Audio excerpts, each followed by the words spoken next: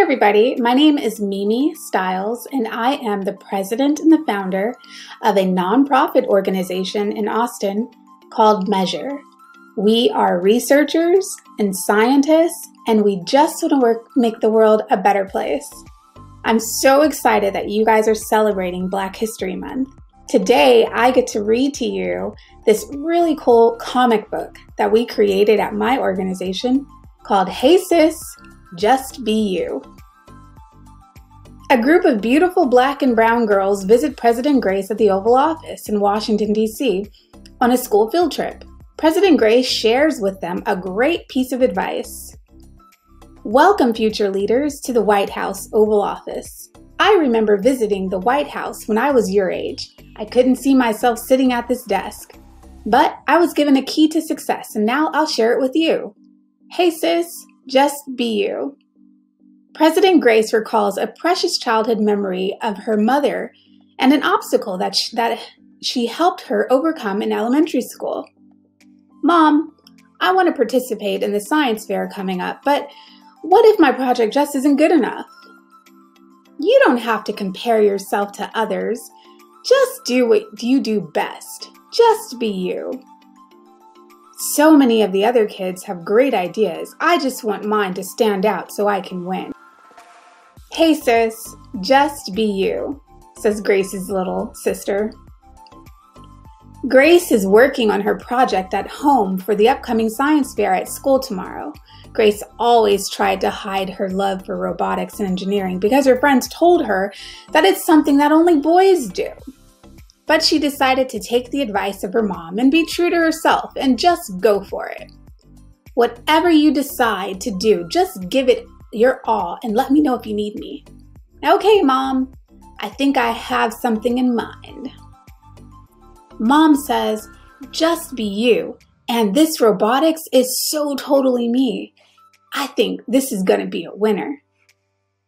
On the science fair day, Grace's science fair project gets judged. I know no one has ever done it before, but I tried and it worked. Barbara Jordan Middle School. I'm so excited about Black History Month. I wonder why there are no good pictures of people that look like me in these books. I also don't see any pictures of black leaders on the walls. Am I the only one aware of this issue? Grace sees a lack of black representation at her middle school and goes to see her counselor. Hello, Miss Fatima.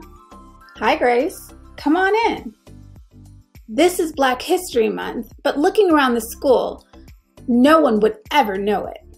Hmm, what does Black empowerment look like to you, and how would you change that? Well, it looks like powerful Black women like you, Miss Fatima. I can organize a Black History Month program. I love the sound of that. Hey, sis, just be you. Grace starts preparing for the first annual Black History Month program and spreading the word to recruit volunteers. I need volunteers to help me organize our school's first Black History Month program. Grace and several students work hard to organize the program. They ask for a lot of community feedback to make sure that the program is a success. Black History Month began as Negro History Week, created by historian Carter G. Woodson, and the Association of the Study of Negro Life and History in 1926. The organization chose that week specifically because it was during the birthday of Frederick Douglass, that was February 14th, and Abraham Lincoln, February 12th.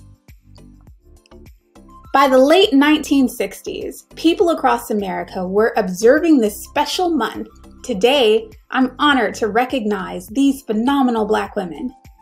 Barbara Jordan won a place in the Texas Senate in 1966. She was the first Black state senator since, since 1883.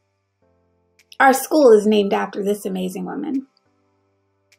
Every year, Grace's High School hosts a pageant in honor of the Juneteenth holiday. Grace sees the pageant sign up flyer and discusses it with her BFF, Jaleesa.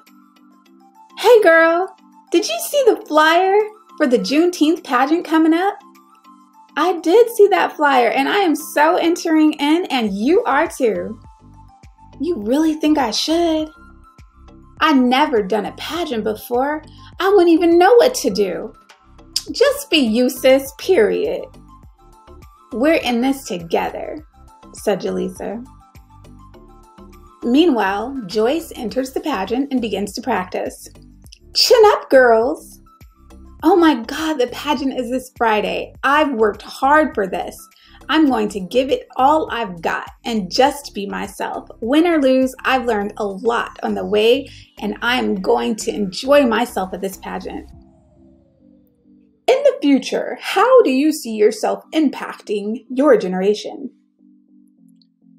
I have a dream to become the first Black woman president of the United States and help change the world by rewriting history for Black girls calling it her story.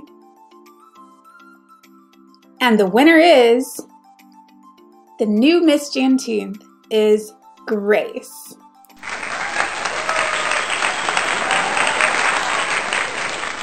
So, girls, you're going to come across so many challenges in life, but just remember being yourself is always good enough. I hope you enjoyed our story and I hope you have all had the opportunity to see the new female, Black, and South Asian Vice President, Kamala Harris. Thank you guys so much for joining us with this story time, and we hope that you have a great Black History Month. Bye bye.